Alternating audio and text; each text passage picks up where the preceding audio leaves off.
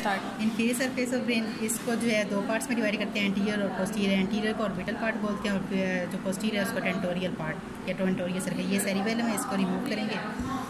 अब जो orbital surface है, इस पर हमारे पास दो सल्कस होते हैं. ये वाला ऑलफैक्ट्री सल्कस है, जो ऑलफैक्ट्री ट्रैक के नीचे है, और ये ऑर्बिटल सल्कस है. ऑर्बिटल सल्कस जो है, वो एड शेप्ड होते हैं. जो ये वाला गायरस बनेगा ऑल्फेक्टी सर्कस की वजह से उसे बोलते हैं रेक्टस गायरा या straight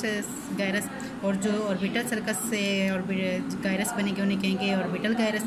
Orbital gyrus four in number होते हैं, ये एंटीरियर ये पोस्टीरियर ये मीडियल और ये लेटरल ऑर्बिटल गायरस। अब जो ये टेंटोरियल सरफेसेस या मीडियल से लेटर सबसे पहले रीनल सर्कस फिर कोलेटरल सर्कस फिर ओसिपिटो टेम्पोरल सर्कस और इन्फीरियर टेम्पोरल सल्कस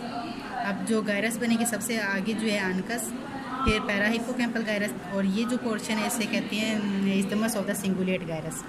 फिर अब ये ऑसिपिडो टेम्पोरल सल्कस के एक मीडियल साइड पे और एक लेटर साइड पे। मीडियल साइड पे जो है, वो मीडियल ऑसिपिडो टेम्पोरल गायरस और लेटर साइड पे लेटर ऑसिपिडो टेम्पोरल गायरस और ये जो है इन्फीरियर टेम्पोरल गायरस और ये ऑलफैक्ट्री बल्ब है olfactory tract fact optic nerve या सेकेंड क्रेनियल नर्व ये पिचोट्री ग्लैंड इन फंडीबुलम ये ऑप्टिक चैज में जहाँ पे ये मीट कर रहे हैं दोनों, फिर ऑप्टिक ट्रैक ये मेमिलरी बॉडीज़ और ये लिंगुअल एरिया